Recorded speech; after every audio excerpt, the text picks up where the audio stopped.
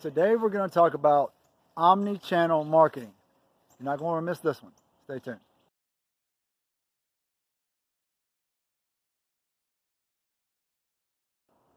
Hey guys, welcome back to Your Digital Mindset, the channel devoted to you, the online marketer, your mindset, and especially your online business.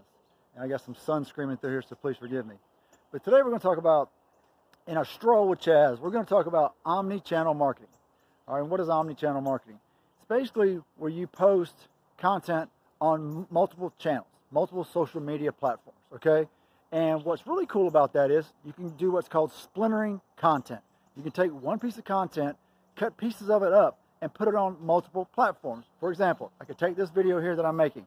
Granted, usually on YouTube we do a we do a uh, horizontal uh, you know aspect, but right now I'm doing it on vertical because vertical is where most of the other platforms what the, that's the way they want. They want vertical content. So I'm making this vertical right now, so I can tell you how if I take this one this one video, I can take and cut pieces of it out, and I can post it on different platforms like Instagram or Facebook or TikTok, uh, Pinterest. I'm telling you, here's the, here's a big thing right now is people are taking their TikTok posts, so they're already done, they already made the, the content, and they take them and they're posting the same videos on Pinterest, and those things are blowing up. All right, so that's just a, a couple of examples of omni-channel marketing, taking a piece of content, splintering it, cutting up into pieces, and then posting it again on Pinterest, Instagram, TikTok, those three are all the same format. Okay, so they're all vertical. And you can also, but again, but but YouTube's getting big on this new thing called Shorts. Okay, so you can post this content that I'm doing right now, but it has to be less than a minute or a minute or less. Okay, so, but but that's that's going to be big. I just watched a presentation on how to do it and all that good stuff from YouTube themselves the other day, and so YouTube's going to have its own spot for vert, for vertical content, just like this. So that's just a, a you know a good tip for you guys who are just getting started um, because, or even people who have been doing it a long time, because you hear this a lot is you shouldn't get yourself spread too thin on too many different platforms. Okay, most people tell you that, especially when you're first starting out, because you can get overwhelmed with content production.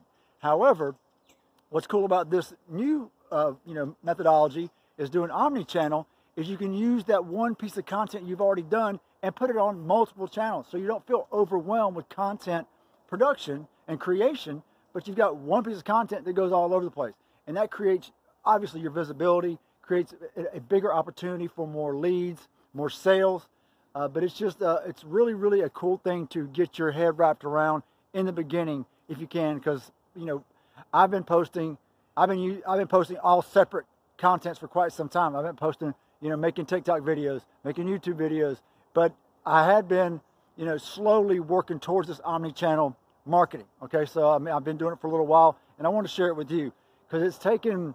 Again, you can get overwhelmed in the beginning trying to create content, and you don't have to feel overwhelmed. You can do it with just one piece of content, cut it up. It's called splintering, splintering your content, and then you post that different content. One piece of content can go over a bunch of different platforms at a bunch of different times.